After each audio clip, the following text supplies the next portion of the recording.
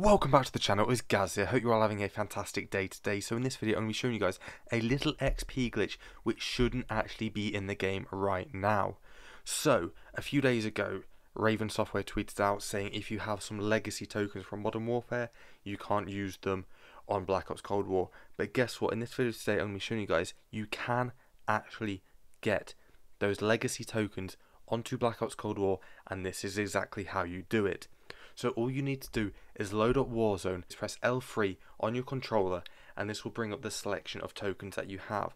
Select any token in here so it activates and now it's activated all you need to do is go back over to Black Ops Cold War and that token will be there. I will pull up the tweet right now, a Raven software saying this shouldn't be happening and basically they don't want this to be happening because everybody on Modern Warfare previously had a bunch of tokens so now is your chance to use it before they patch this. So that is the easiest way to get yourself some nice extra XP because if it's not an XP weekend you might as well do this because they will be patching this very very soon. So that's the video today.